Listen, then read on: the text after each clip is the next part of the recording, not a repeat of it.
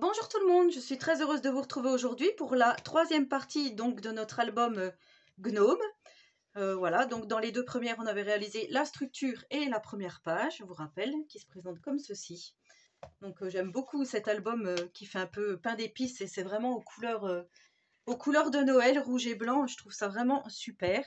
Donc on continue sur notre lancée, donc toujours avec la, le bloc 3030 de Craft Sensation de chez Action, Albignome for Christmas.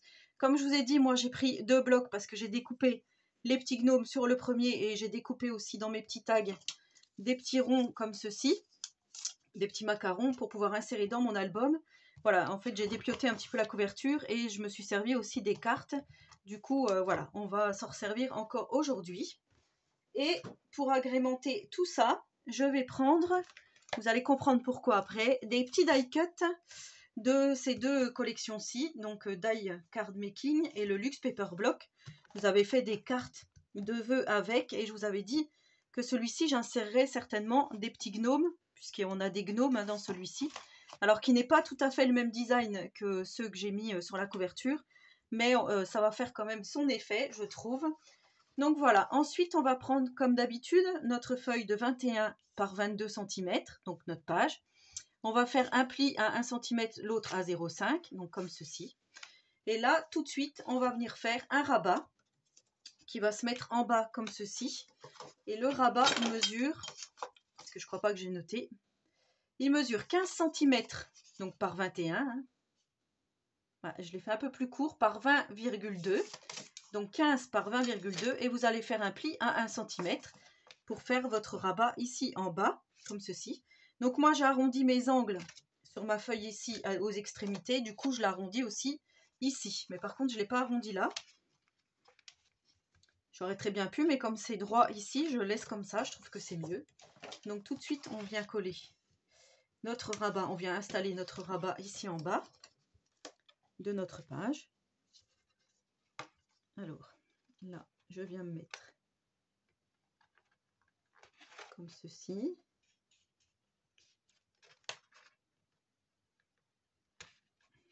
En fait, il faut bien que je m'aligne. Ici, je suis alignée. Ici aussi.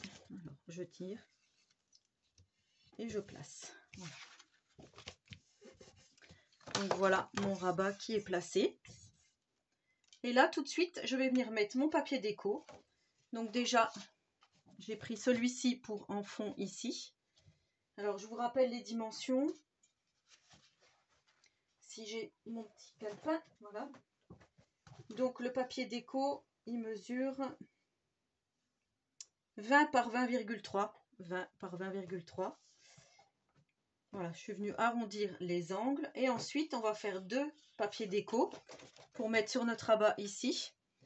On va faire donc deux papiers déco. Un qui va mesurer, enfin les deux vont mesurer, pardon, 13,4 par, par, par, par 19,7. Donc moi, je vais prendre celui-ci avec les Pères Noël. Je vais venir le mettre, il ne faut pas que je me trompe, comme ceci. Donc l'arrondi. N'oubliez pas, comme ceci. Et l'autre, je vais venir le mettre ici. Par contre, tout de suite, je vais mettre des aimants. Alors, c'est facultatif, hein, les aimants. C'est si vous en avez, tant mieux. Alors, moi, c'est ceux de la boutique Brico et Scrap. Les N42. Et je peux vous dire qu'ils sont très costauds. Voilà, c'est ce que je voulais pas. Ils sont durs après à défaire. Donc, on va faire comme ça.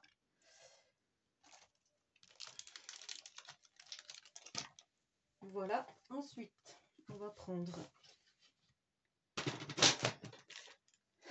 le petit... Je soupire. Vous avez dû m'entendre soupirer. Voilà, je ne sais pas si vous avez tous fait vos cadeaux de Noël.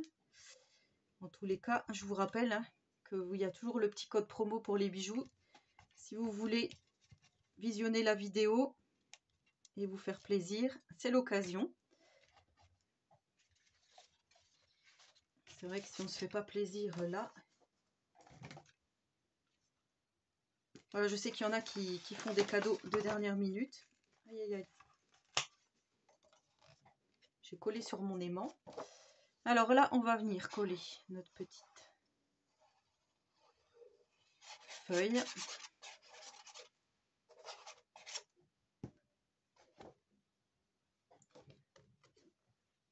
Alors, comme ceci.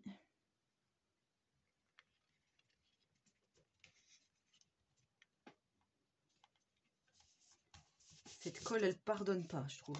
Voilà, là, je vais venir mettre mon aimant pour pouvoir fermer. je ne vais pas faire comme ça, sinon je vais me faire voir. Hop, voilà.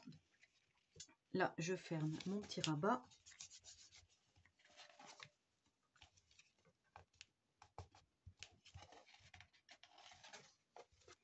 Voilà, il est placé. Et ensuite, je vais coller donc mon grand rectangle ici. Et là, on va se faire une petite surprise après. Qui va faire tout son effet.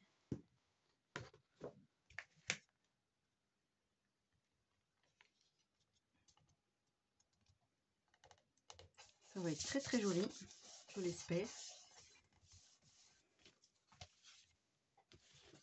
Voilà, ensuite je vais coller à l'extérieur mon petit papier déco. Donc j'ai pris les petits sapins.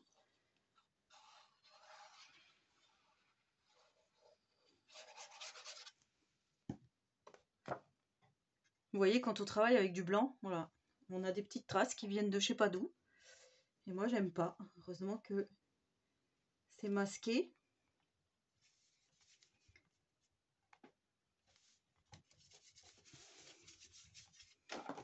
Voilà ce que ça donne pour notre rabat de notre première page. Donc je trouve que c'est plutôt joli. Ici, on va venir coller une carte de la collection. Voilà, juste là, comme ça, là, on pourra soit coller une photo, soit écrire du journaling. Donc moi, euh, je vais peut-être la mettre en 3D. Ouais, je vais la mettre en 3D. Donc je vous rappelle, avec le scotch 3D ici qu'on trouve chez Action.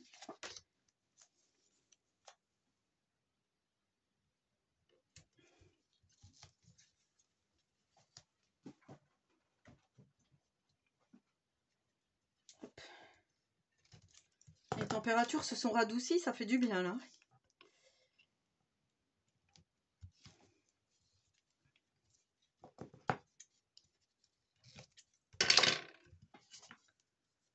Voilà, ensuite.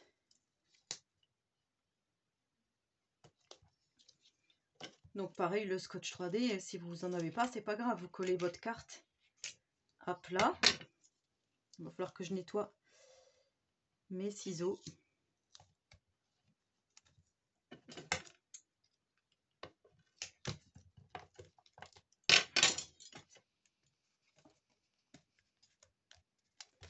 Peut-être en mettre un au milieu. Parce que du coup, j'arrive bientôt au bout du rouleau. J'espère que j'en ai encore. Je crois pas que j'en ai.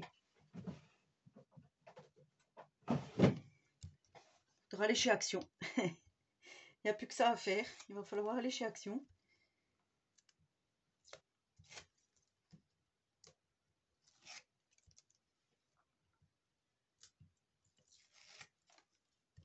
Alors, voilà.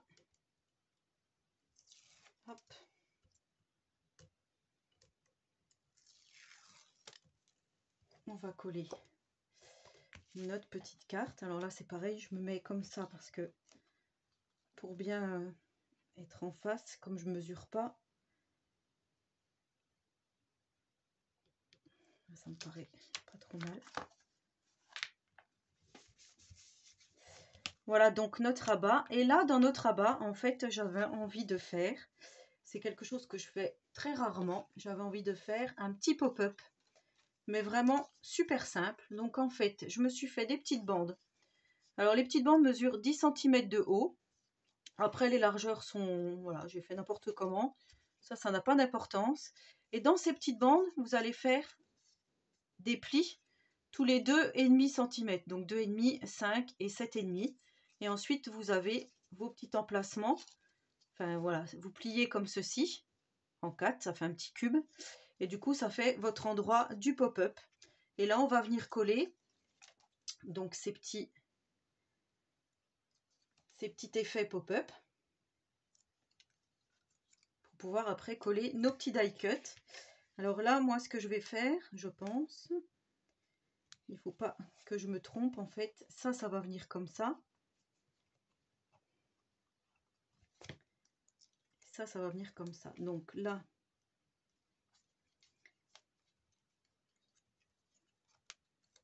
je suis toujours euh, pas très à droite, hein. vous le savez.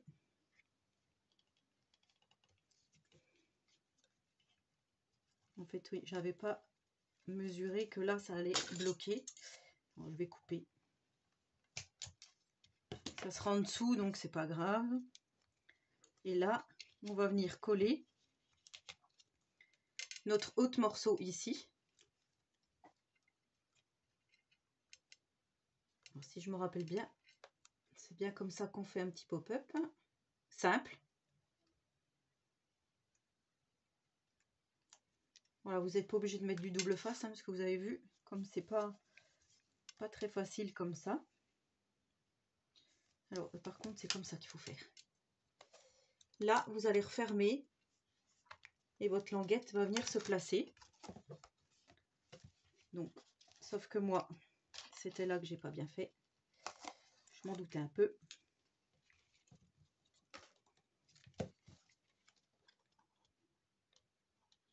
attendez, il y a un petit couac. Alors vous voyez, j'ai tellement pas l'habitude au pop-up qu'en fait je me suis fait piéger. C'est juste parce que là, il faut bien mettre votre pli où il y a la pliure. Vous voyez, la pliure de votre, de votre rabat, sinon ça va pas. Donc c'est pas grave, là j'ai fait un petit, petit caca. Alors je vais vous montrer. Là, vous voyez, vous avez votre milieu des deux petites bandes. Et là, du coup, c'est très simple en fait. J'ai eu un petit moment de flottement. Ça faisait longtemps que ça m'était pas arrivé dans une vidéo. C'est pas grave, c'est chaotique. Au moins, vous voyez les erreurs à pas reproduire. Du coup, là, vous voyez, il y a le pli. Et ici, il y a le pli de mon rabat. Et ben, il faut juste que je me mette le pli sur le pli. Voilà, c'est juste ça. Et une fois que c'est collé, vous voyez, là, ce coup-ci, ça tire plus.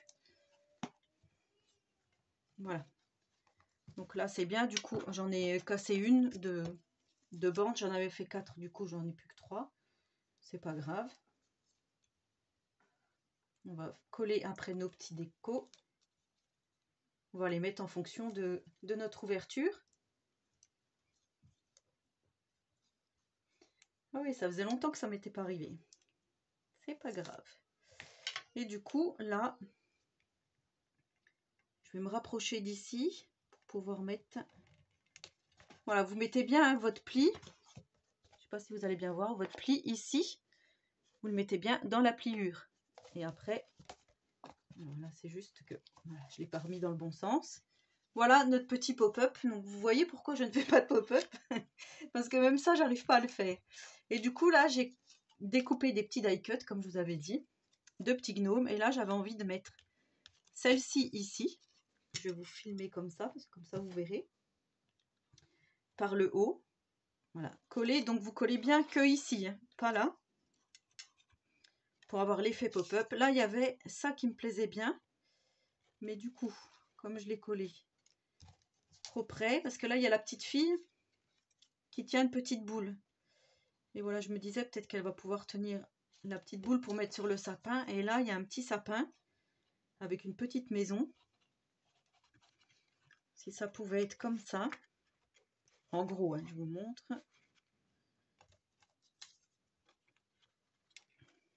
Trouve que c'est sympa. Ou sinon, le sapin, le petit gnome et l'autre sapin ici.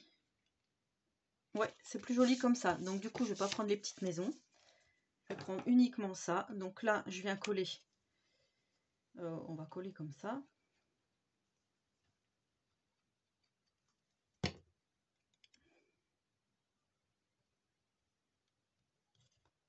je vais faire comme ça, j'espère que vous verrez bien. Je viens coller voilà, sur la partie uniquement ici, hein, qui sera remontée. Donc là, mon petit gnome, je vais la mettre comme ça. Donc là, c'est pareil, elle va avoir le haut du corps ici et les pattes.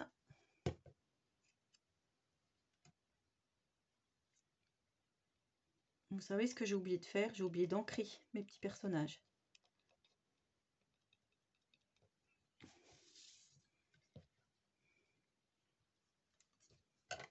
C'est pas grave. Et du coup, là,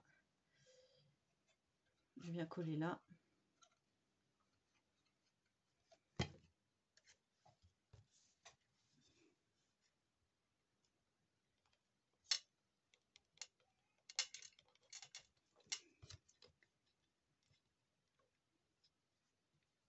Voilà ce que ça donne. pour l'instant, je ne vais pas trop appuyer parce que derrière, il y a un petit peu de colle. Mais vous voyez, on fait comme ça et quand on ouvre, on a le petit, le petit pop-up ici. Donc là, on va pouvoir mettre une petite photo. En plus, là, ça tombe bien parce que comme j'ai déchiré mon petit papier. Donc, vous allez pouvoir découper, par exemple, je mets ça là pour vous montrer, mais une photo de 10 par 14,3, vous voyez, un papier déco et ça fera euh, pour mettre une photo. Ici, on va pouvoir mettre également une photo. Alors, on va pouvoir la mettre soit comme ceci, même en mettre plusieurs, une petite, une grosse, peu importe. Voilà, et quand c'est refermé, le tout tient très bien comme ça. Donc là, vous voyez, j'aime beaucoup l'effet, franchement, euh, c'est super joli. Et du coup, derrière, on va pas se compliquer la vie. On va mettre toujours un papier déco, donc de la même dimension que précédemment. Alors, je crois que c'était 20 par 20, euh, attendez, 20 par 20,3. Là, je suis venue arrondir mes angles euh, à l'endroit qu'il fallait. Et là, je vais refaire une petite carte, donc comme euh, précédemment, une base de craft, où je vais coller deux papiers à l'intérieur où il y aura des espaces photos, comme ceci. Et là, je vais mettre comme ça pour l'instant. Je viendrai le décorer après, comme ceci. Et pour maintenir tout ça, je voudrais mettre un petit macaron comme ceci avec une petite attache parisienne et qui va donc se coulisser comme ça pour ouvrir. Alors par contre, je ne sais pas si je la mets au milieu. Je pense que oui. Et ça, je vais le faire tout de suite pour ne pas être embêté. Donc du coup, j'ai préparé... Je peux même la mettre en lait en haut comme ça. Non, il faut qu'elle soit en bas pour pouvoir ouvrir. Je suis en train de me, tromper. Donc du coup, je viens percer à l'endroit que je souhaite. Alors là, voilà, j'ai pris une petite attache parisienne comme ceci, dans les couleurs rouges. Je vais percer tout de suite. Alors par contre, faites attention à vos doigts. Quand vous percez, laissez pas vos doigts en dessous. Là, je vais mettre ma petite attache parisienne. Je vais ouvrir les petites branches. Voilà. Pas tout de suite, parce qu'il faut que je perce mon autre papier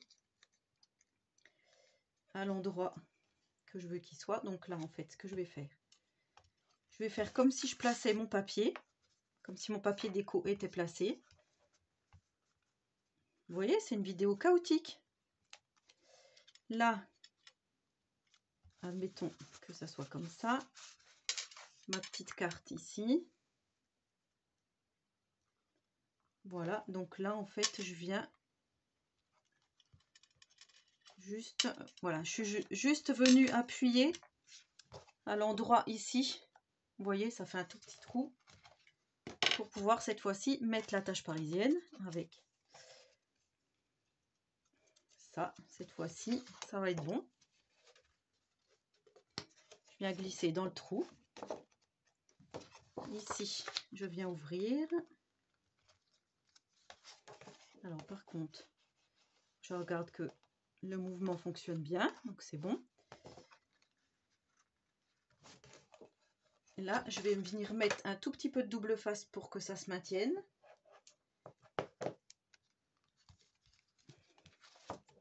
Alors pareil, si vous n'avez pas d'attache parisienne, eh ben, je vais vous montrer après. Vous allez mettre juste votre petit macaron en 3D et vous viendrez glisser votre petite carte dedans, voilà, en faisant attention que ça tienne bien. Je pense que là, il n'y aura pas de souci. Parce que ça se peut hein, qu'il y ait des personnes qui n'aient pas d'attache parisienne.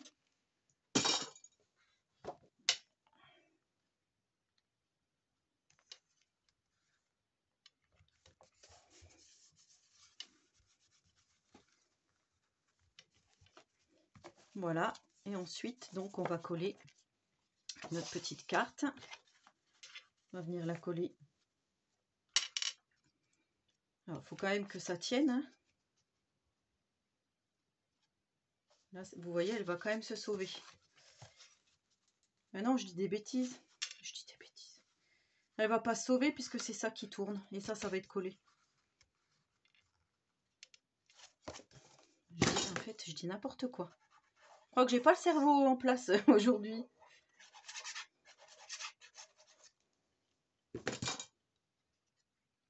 Donc en fait, là, vous venez coller votre petite carte. N'importe où.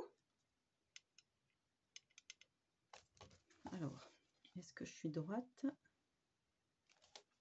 Voilà, là, je suis droite. Et donc, je vous disais, si vous n'avez pas d'attache parisienne, vous collez votre, petite, euh, votre petit cercle ici. En dessous, vous mettez un petit peu de mousse 3D plutôt en bas. Et comme ça, là, vous pourrez quand même glisser une photo. Après, voilà, c'est vrai que pour ouvrir, ça va être un peu plus, difficile. Sinon, vous mettez juste une petite déco ou alors vous baissez carrément votre petit macaron en bas pour faire croire que, que c'est le même système que moi. Après, voilà, c'est vous qui voyez. Donc là, je vais coller mes petits papiers qui me restent. Donc, je vous rappelle que ces papiers déco mesurent 10 par 14,3 puisqu'il s'agit pareil quand je vous fais les tutos carterie.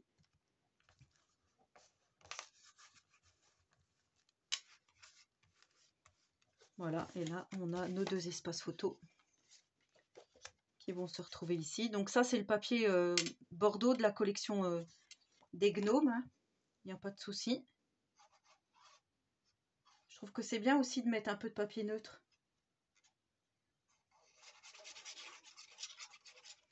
À la créa. Donc voilà, je colle tout ça.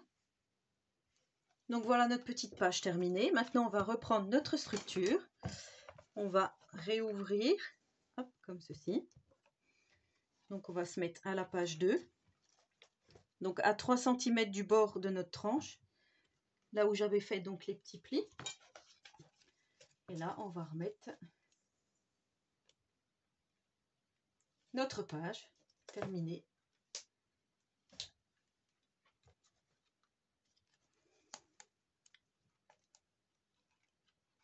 Alors, on va s'aligner, hein, tant qu'à. Voilà, une fois qu'on pense qu'on est à peu près bon, on vient défaire notre scotch double face.